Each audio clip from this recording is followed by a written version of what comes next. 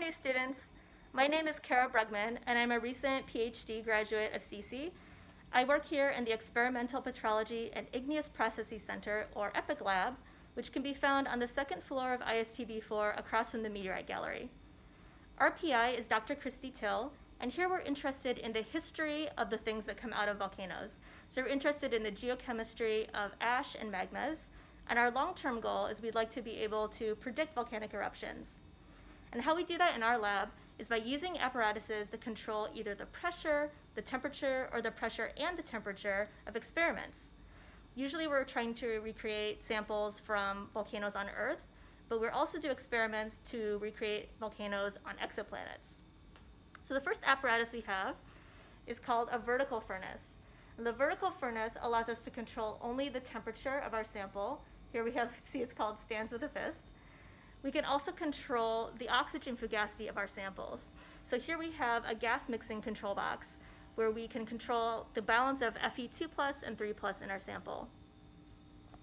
Now I'll walk us over to the part of the lab that you can see through our big windows to show you the apparatus we use to control only the pressure of the sample.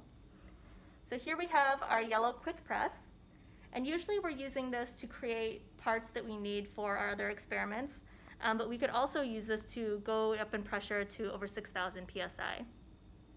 And then the main instruments that we use in our lab are called a piston cylinder.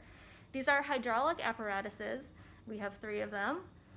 Taylor, Yellow, Hunter, and Rosie, our newest one in blue. And these are hydraulic apparatuses that we use to control both the temperature and the pressure on a sample.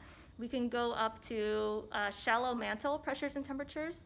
And this is what I use, for example, for my exoplanet experiments. I use Rosie here. Uh, we also have some really nice microscopes. We also have um, something to automatically polish your samples so you don't have to sit there for hours and wear out your fingers. Um, but if you'd like to come by, then be sure to contact Christy or one of our other grad students, Ishimoy Felix or Jesse Burson, to find out more about the cool work we do here. Thanks. I hope you have a good time in SESE.